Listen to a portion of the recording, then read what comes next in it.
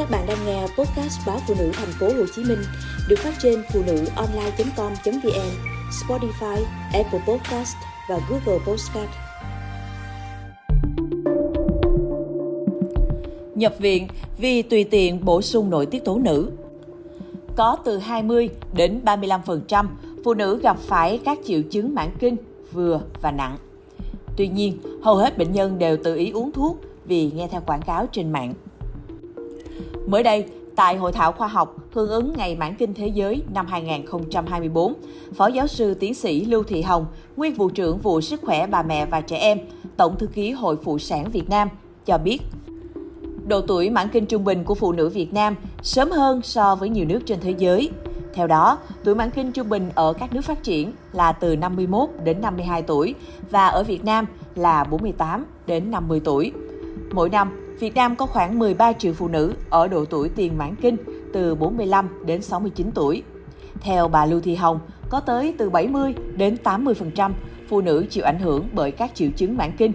Trong đó, 20 đến 35% triệu chứng vừa và nặng.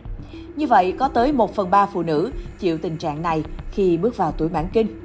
Các triệu chứng phổ biến của tiền mãn kinh như tăng cân, mất ngủ, nóng bừng mặt, vã mồ hôi, bức rứt, khó chịu. Nhiều người còn bị khô teo âm đạo, khó khăn khi quan hệ tình dục, viêm nhiễm âm đạo, loãng xương, sơ vữa động mạch, Alzheimer. Trong số các bệnh nhân tôi từng thăm khám, rất nhiều chị có triệu chứng khó chịu, có trường hợp dẫn tới trầm cảm, buộc phải uống thuốc điều trị. Bác sĩ Lưu Thị Hồng chia sẻ. Tiến sĩ bác sĩ Trần Thị Thu Hạnh, Bệnh viện Phụ sản Trung ương cũng cho hay, tuổi thọ phụ nữ ngày càng tăng cao, nghĩa là họ có thời gian dài để đối mặt với thời kỳ mãn kinh. Dù vậy, vấn đề này vẫn chưa được nhận thức một cách đầy đủ. Theo một thống kê, gần một nửa số phụ nữ chưa có thông tin và không sẵn sàng về thời kỳ tiền mãn kinh, mãn kinh. Và có tới 55% số người đã ước mình biết thông tin về tiền mãn kinh sớm hơn. Những năm gần đây, Bệnh viện Phụ sản Trung ương đã có phòng khám về mãn kinh. Song, theo bác sĩ Trần Thị Thu Hạnh, số lượng đến khám không nhiều do người phụ nữ luôn âm thầm chịu đựng, cho rằng đây là điều khó nói và luôn tự tìm cách giải quyết.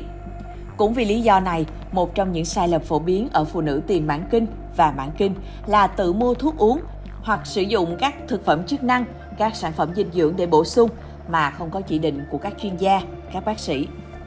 Phó giáo sư tiến sĩ Lưu Thị Hồng cho hay, bà từng tiếp nhận trường hợp tự ý bổ sung estrogen hàm lượng cao do nghe đồn có tác dụng tốt cho độ tuổi mãn kinh. Tuy nhiên, do bổ sung hàm lượng quá lớn khiến niêm mạc tử cung dày dẫn tới rong kinh phải vào viện điều trị. Trường hợp khác, bệnh nhân được cửa hàng thuốc kê thuốc tránh thai sử dụng dài ngày mà không hề biết thành phần cũng như tác hại do thuốc gây ra.